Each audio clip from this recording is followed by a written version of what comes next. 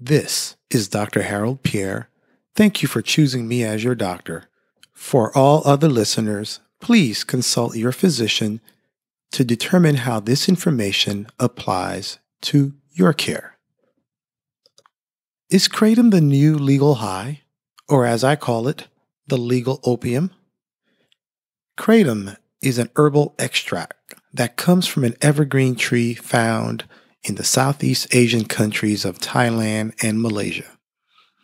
The leaves are harvested, dried, and then processed into a powder that can be consumed as hot or cold beverages or packaged into capsules.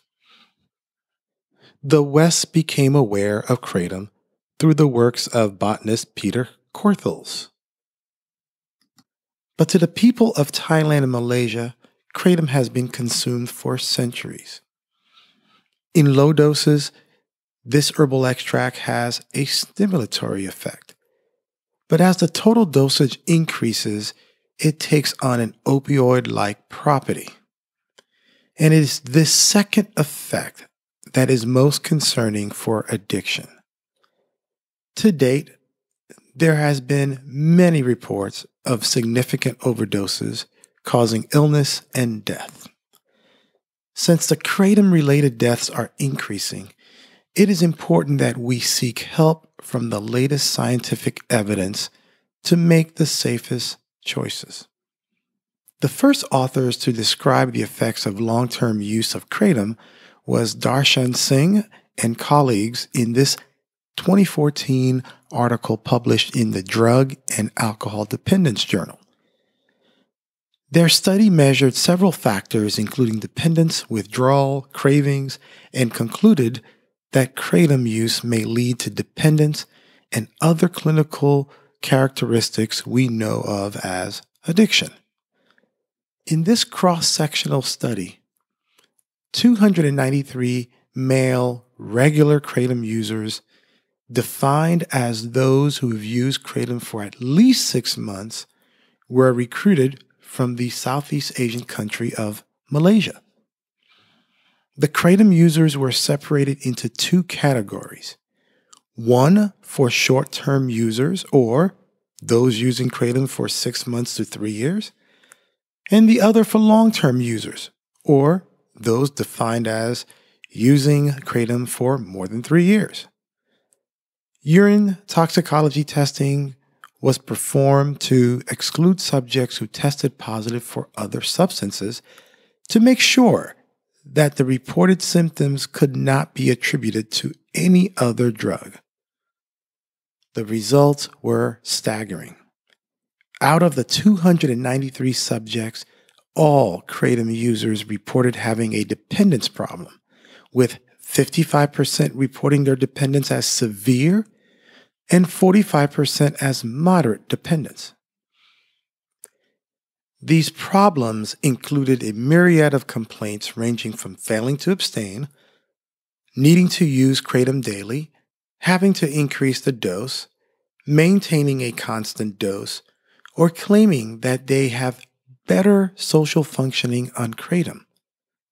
Now, for my opioid addicted patients, these reports should sound very familiar.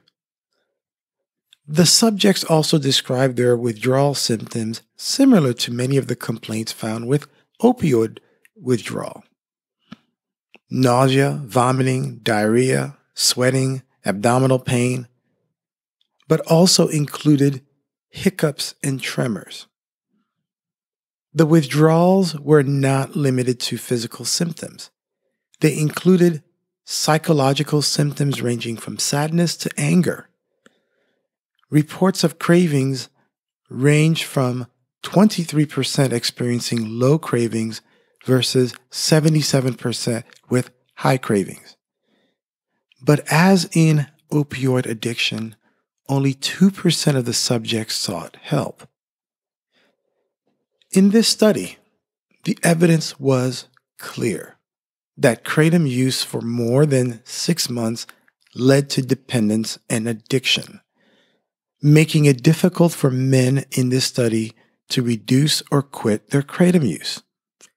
These findings have made me consider kratom to be legalized opium and a product that I highly advise my patients not to use.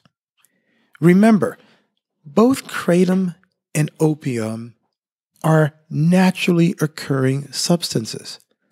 But natural doesn't mean safe. Hemlock, cyanide, snake venom, and even poisonous mushrooms are all natural substances that can kill. To date, I've had three patients contact my office for nothing other than kratom addiction. In one highly motivated patient, I successfully tapered him off of kratom with an eight week regimen. As of this recording, he remains sober eight months and counting with no issues. The second patient was the first patient to contact my office for help with kratom addiction. She was concerned that the DEA would consider kratom a Schedule 1 drug and she would lose access to her kratom. She revealed to me that she started kratom to help her with her opioid addiction, but she soon found that her addiction to kratom was equally as bad as opioids.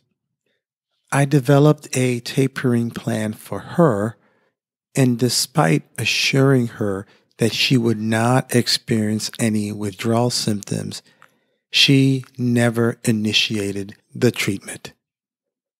The last patient was a patient that I successfully tapered off of opioid and Suboxone.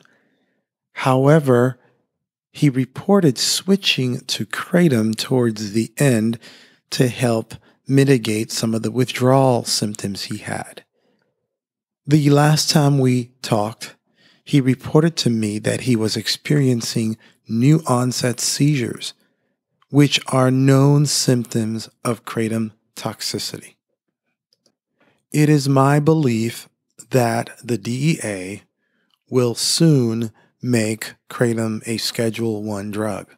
I encourage everyone to not initiate use of this herb. You may quickly find yourself addicted to this herb.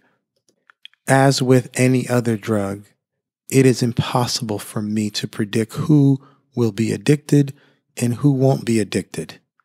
But the safest thing to do is to just avoid using kratom. I'd rather you be safe than sorry.